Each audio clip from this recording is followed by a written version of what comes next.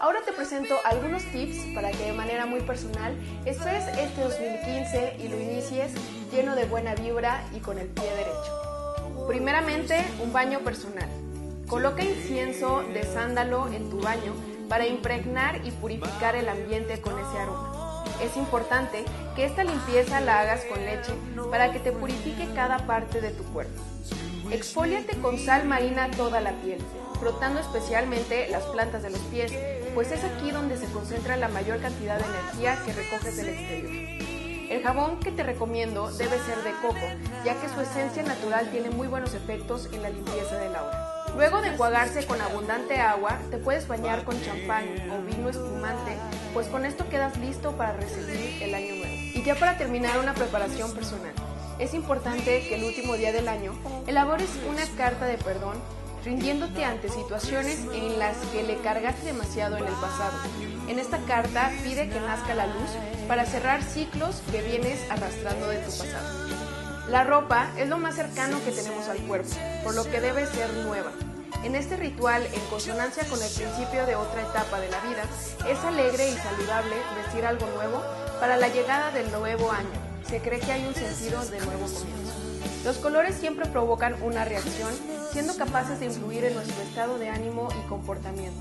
Por otra parte, se encuentran cargados de misticismo. Usar prendas de cierto color para la llegada de un nuevo año tiene cierto rojo. Crea una sensación de vitalidad y agilidad. Se asocia con el amor y la capacidad de hacer realidad los sueños de una forma armónica. Amarillo. Aspectos positivos de brillo y contacto a la elección del color amarillo en las prendas. El color también está conectado con la atracción de la riqueza. Blanco. La costumbre de usar ropa blanca está conectada a los negros y las religiones africanas. El blanco representa la luz, la pureza y la bondad. Rosa. El color se refiere a la belleza y la seducción. Vinculado a la imaginación, el rosa tiene el poder de crear nuevos pensamientos posibles de concretarse en la vida. Verde. Reaviva la llama de la esperanza de convertir las situaciones malas en buenas. Comida. La abundancia sobre la mesa en esta época del año refleja la expectativa de la abundancia en el futuro. La cantidad y calidad de la comida y la bebida van más allá de las necesidades de la vida cotidiana, celebrando la vida con optimismo y felicidad. Comer ciertos alimentos requieren de la realización de un ritual. Uvas. En algunos países es costumbre comer tres uvas blancas dando la espalda a la luz. Antes de comerlas, se eleva cada una de ellas a los cielos y se hace un pedido por cada fruta.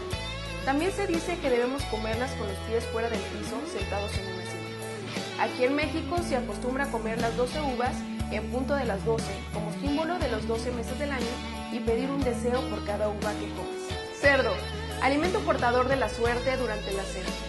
Predicado se da porque el animal olfatea hacia adelante, llevando hacia adelante nuestra vida. Lentejas. Aparece entre los alimentos que traen fortuna y el renacimiento. Estas deben consumirse en la cena sentados sobre un banco antes de la medianoche. Granada su cantidad de semillas hace de esta fruta un símbolo de la abundancia y la fertilidad. Amigos de Plano Informativo, aquí tienen estos tips para recibir este 2015 con toda la actitud. Yo soy Brenda Verónica, les invito a que visiten nuestra página de internet www.planoinformativo.com, a que naveguen por nuestras diferentes redes sociales y a que se suscriban a este nuestro canal de YouTube.